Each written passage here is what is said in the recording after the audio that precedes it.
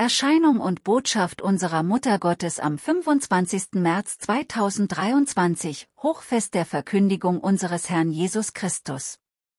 Von eurem Jahr hängt die Verwirklichung eines Teils des Plans des Herrn ab, und viele Seelen sind diesem Jahr anvertraut.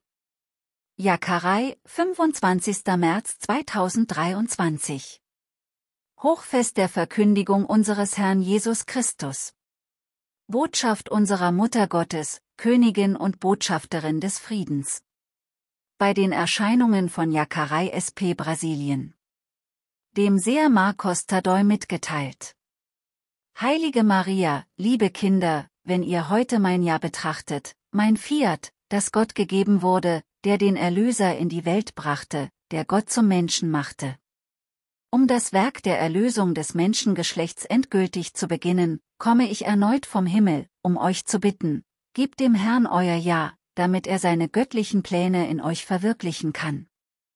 So vollenden wir das große Werk, das mit meinem Ja begonnen hat und das mit dem endgültigen Triumph des Herrn und der ganzen Menschheit, die ihn anbetet und lobt, für immer und ewig seinen Höhepunkt erreichen wird. Von eurem Jahr hängt die Verwirklichung eines Teils des Plans des Herrn ab, und viele Seelen sind diesem Jahr anvertraut. Deshalb, kleine Kinder, seid großzügig, verzichtet auf euch selbst, verachtet euren eigenen Willen und die Welt und opfert euch mit mir großzügig dem Herrn für die Verwirklichung der Heilspläne der Welt auf. Betet weiterhin jeden Tag meinen Rosenkranz, damit ihr Seelen seid, die mehr tun als nur Worte. Die Welt braucht Menschen, die ein entschiedenes Jahr geben und nach diesem Jahr leben.